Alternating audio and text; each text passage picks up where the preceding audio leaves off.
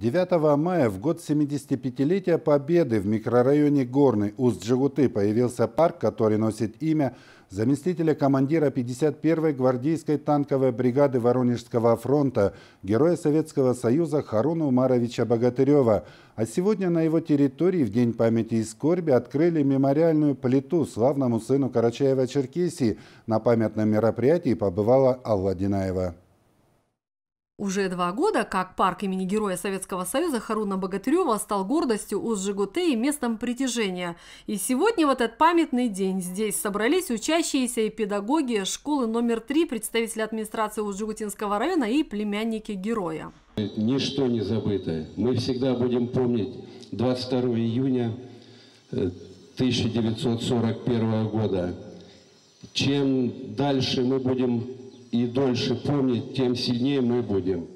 Будем помнить наших героев, героев, которые сегодня защищают интересы нашей страны, героев, которые защищали в 41-45 Родину. Хочу поклониться перед родом Богатыревых за великого родственника величайшее, великое не должно быть забыто. Наши потомки, будущие потомки, вновь и вновь должны возвращаться поистине к этим немеркнущим событиям. Наши дети никогда не должны узнать ужасов войны, но они должны знать и помнить, кто завоевал им победу. Почетное право открыть мемориальную плиту предоставили председателю Думы Уджигутинского района и представителю рода Богатыревых. Низкий поклон и вечная память вам, отдавшим жизнь за то, чтобы жили мы. Эти слова высечены на гранитной плите от благодарных потомков.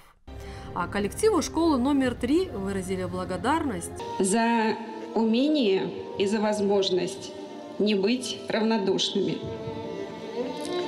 потому что поставить обелиск от имени школы – это очень и очень серьезный патриотический шаг. Уверена, что в этом обелиске есть и вклад ваших выпускников, вклад коллектива вашей школы и вклад детей, которые сегодня посещают школу. В апреле этого года на территории школы и парка имени Харуна Богатырева высадили деревья. И что приятно удивило сегодня собравшихся, на одном из них уже появились плоды. Алла Динаева, Расул Бердиев, Вести, Карачева, Черкесия, Усть-Джигута.